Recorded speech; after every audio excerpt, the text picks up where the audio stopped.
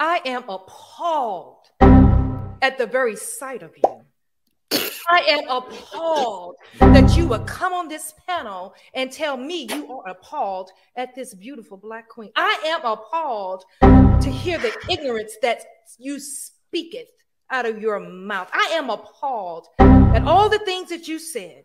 I am appalled. I ask you, please respond. Are you married? Oh, I feel so sorry for her. I feel so sorry for her because you seem like the type of man that would want to dictate everything to your wife because you are a man and you're going to stand in your masculinity. God forbid if something was to happen to her, you can't show her the side of you that's so soft. That's, you know, it, it, God forbid, God forbid. But enough of this rhetoric. I respect your um your stance. I respect what you say, but I still stand on what I said.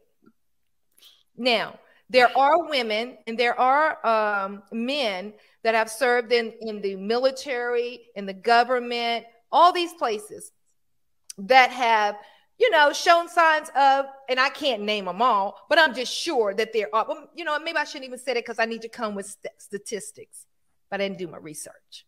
Yeah, yeah, yeah. Because if you say if you say they served in the military, what you saying?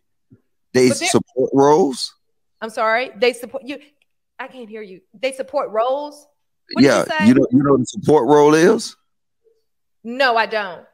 Okay, so don't speak about the military then, because now what you did is you mischaracterized a lot of motherfuckers that went out and really got banged on. But so, listen, it's okay, respect. But here's the thing: you all have a side that is not always masculine. Beta. Whether you want to agree to it or not. And it's okay. It's okay to express how you feel. I am it's triggered. I'm very It's fucking okay triggered. to say, you know what? I'm not feeling it today, and I feel so emotional, and I want to get in touch with that side. it's okay. Antoine, you looking like what? this day and time, you know, we had a subject in class where men or where the guys were saying that it's so much stress to where they can't. Oh, hold, hold up, baby.